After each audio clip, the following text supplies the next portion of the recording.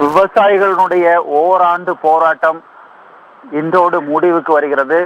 ஓராண்டாக நீடித்த இந்த போராட்டம் காரணமாக ஒன்றிய அரசு கொண்டு வந்த மூன்று வேளாண் சட்டங்களையும் திரும்ப பெறுவதாக பிரதமர் அறிவித்தார். இந்த வேளாண் சட்டங்களுக்காக பிரதமர் தொலைக்காட்சியில் தோன்றி மன்னிப்பு கேட்டார்.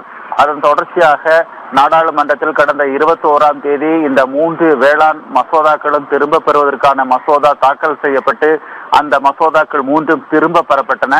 அதனைத் தொடர்ந்து விவசாயிகள் ஆறு முக்கிய கோரிக்கைகளை முன்வைத்து பிரதமருக்கு கடிதம் எழுதினார்கள். அந்த கடிதத்திற்கு பிரதமர் அதாவது வேளாண் துறை அலுவலகத்திலிருந்து இரண்டு கடிதங்கள் முதலில் அனுப்பப்பட்டன. அந்த கடிதங்களில் திருப்தி இல்லாத விவசாயிகள் மேலும் விளக்கம் கேட்டு கடிதம் எழுதினார்கள். அதற்கு இன்று வேளாண் துறை செயலாளர் அதிகாரபூர்வமாக ஒரு கடிதத்தை எழுதியிருக்கிறார். அந்த கடிதத்தில் இந்த குறைந்தபட்ச ஆதரவு விலை வழங்குவது தொடர்பாக ஒரு குழு அமைக்கப்படும். அந்த குழுவில் விவசாயிகள் உள்ளிட்டோர் இடம்பெறுவார்கள். அந்த குழுவானது வரும் நாட்களில் ஆலோசனை நடத்தி இந்த குறைந்தபட்ச ஆதரவு விலை தொடர்பான முடிவை எடுக்கும் என்று கூறப்பட்டிருக்கிறது. அதே போன்று விவசாயிகள் மீது போடப்பட்ட வழக்குகள் அத்தனையும் திரும்ப பெறப்படும். சம்பந்தப்பட்ட மாநிலங்கள் அந்த வழக்குகளை திரும்ப பெறும் என்று ம- ஒன்றிய அரசு உறுதியளித்திருக்கிறது. மேலும் மின்சார திருத்த சட்டத்தை நாடாளுமன்றத்தில் தாக்கல் செய்வதற்கு முன்னதாக இந்த ஐந்து பேர் கொண்ட விவசாயிகள் குழுவிடம் ஆலோசனை நடத்தி அதில் உள்ள குறைபாடுகளை நீக்கிய பிறகே நாடாளுமன்றத்தில் தாக்கல் செய்யப்படும் என்று ஒரு உத்தரவாதத்தை அளித்திருக்கிறார்கள்.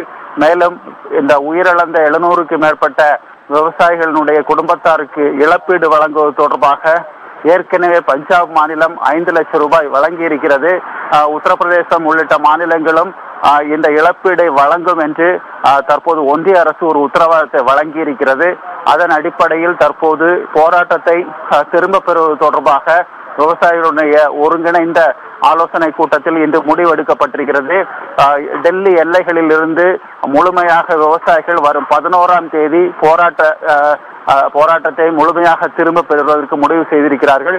அதாவது இன்றோடு போராட்டம் முடிவுக்கு வந்தாலும் பதினோராம் தேதி அன்று முழுமையாக அந்த சாலைகளை காலி செய்வதாக தற்போது அறிவித்திருக்கிறார்கள்.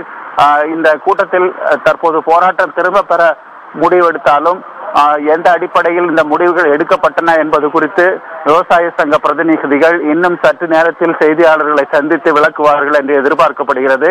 சுமார் முன்னூற்றி எழுபத்தி ஒன்பது நாட்கள் நீண்ட ஒரு மிகப்பெரிய போராட்டம் இன்றோடு முடிவுக்கு வருகிறது.